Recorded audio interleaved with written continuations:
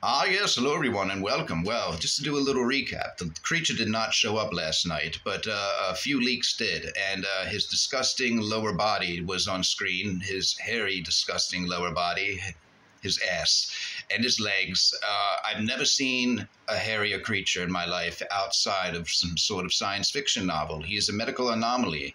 Um, very disturbing. Uh, he looks like one of those like monsters that have the hairy pig lower body with the hooves, and then the upper body is human. I forget what that creature is called. If you know the name of the creature, please put it in the comments. They usually have like a flute sometimes or a pitchfork. Demons.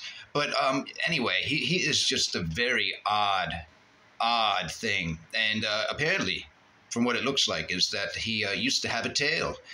And it must have been removed at birth because now it's covered with a uh, shitty strand of hair tailbone hair. Um, I don't know why he has tailbone hair or why he can part it in the middle, but oh my God, he looks like he has a toupee on his ass. It's, uh, it's, I don't recommend it, but I'm sure you're going to come across it in this uh, community. They're not going to let you not see it. If we have to suffer, we all suffer. but um, that's about it. They really, and then there was some text messages revealed, um, more cheating. Uh, apparently, he cheated on Taylor with another man, and that's not shocking. We all know that he really just doesn't care who he's talking to or who he who he is flashing. He just wants uh, a picture of flesh. Doesn't matter who it comes from, and that's all he cares about is being taken care of. Game Pass, OnlyFans, lotion bottles, and spank pictures. That's all he needs. That's all he needs in life.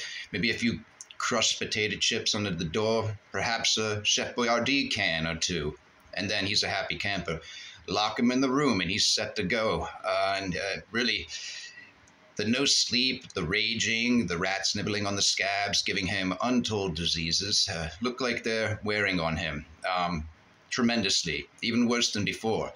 I don't see it getting any better. All I see is this creature ending up in the hospital next time he rages like that. Uh, he definitely looked like he was close to a stroke or a seizure or something like that.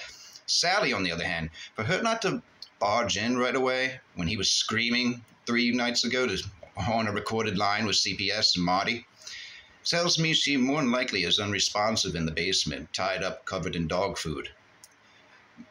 Maybe a welfare check is in order. Who knows? I don't do that. But anyway, it's just uh, he needs two days to recharge probably. He made a Twitter post and he made a Rumble video where he does a vocal cover. That's about it. I'm sure he'll pop up soon, and I'm sure it will be filled with rage. And until then, we shall wait and see. And uh, well, enjoy your morning. Don't look at the pictures. Uh, like I said, don't look at the pictures doing scrambled eggs. Drink your coffee first. Ah, yes.